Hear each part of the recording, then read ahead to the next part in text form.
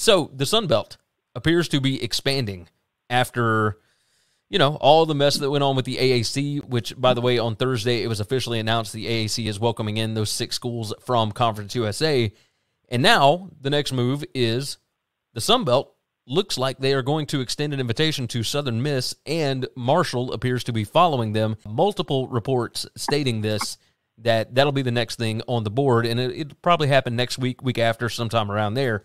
The next big puzzle piece appears to not be an FBS team, but James Madison.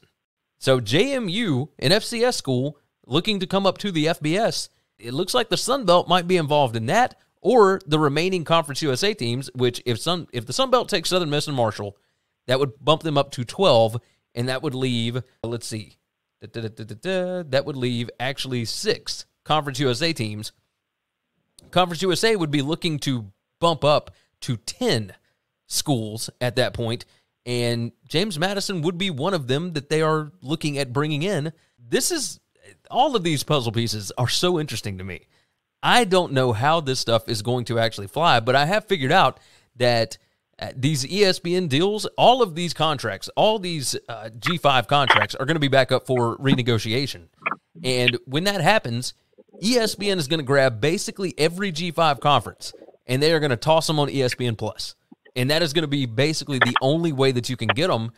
So basically, anybody that is a fan of a G5 school is going to have to pay the five ninety nine or six ninety nine or whatever it is to ESPN for ESPN Plus in order to watch their teams, and that is eh, not shocking to me.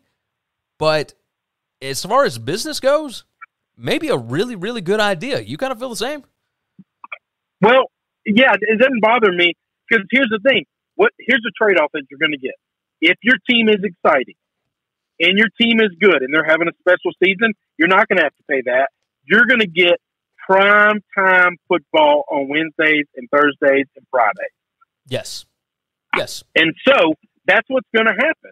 And if you told me that your, you know, MTSU and and everybody has to stream all your games, but the one year that you're special you get three primetime ESPN games on a weeknight where you have television basically to yourself. It, that would be you would you can't buy that kind of uh, uh, publicity. Yeah. You just can't. That's the best deal in town. Also, Pete Thamel reporting out that you we kept talking about the American uh, TV deal is going to get cut in half basically with losing those teams. Uh, reportedly, no, it's not changing at all. They're, ESPN's going to stand by what they've got, and they they think that that they're just as valuable and they they want the product. Yeah, no, I did that. I did see that. So, Very so if that's the case, now now these teams going to the American are absolutely getting a huge payday because they're going from like three million dollar a year TV deals to like seven. well, that's a big deal. Uh, so so here's here's the difference. The ones that are just now being brought in from Conference USA are only going to get half the money. That's what, they're not going to get all of it, but yeah. it's still a big number compared to what they are getting. Yes, yes, because they're only making about 500 grand off of their media rights deal currently. Those six schools will be making half of what one school in the AAC is making right now. So yeah, seven but, million okay, a year. So, so right so, now the AAC is getting seven.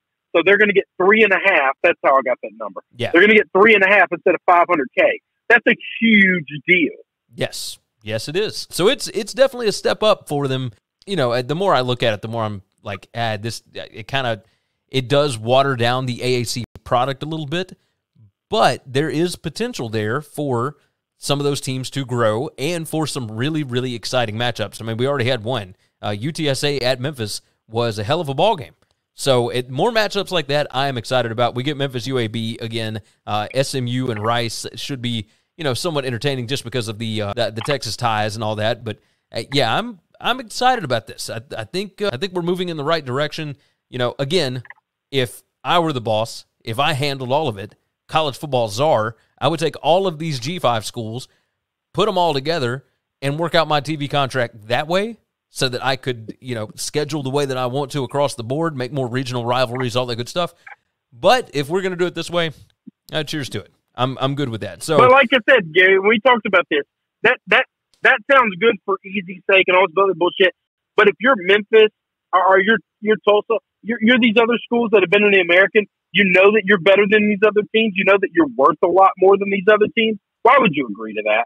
I, agreed. I, I, mean, I'm with you 100. percent When when you put everybody in a big pot like that, all you do is placate to the median, which means you're overpaying the bullshit teams that don't deserve anything. All right, and you're grossly underpaying those who are outperforming, you know, what you should be giving them. And and so that's why you just can't do that. You you got to have separation because then you're rewarding conferences, you're rewarding certain teams that are putting the money into the program and getting results.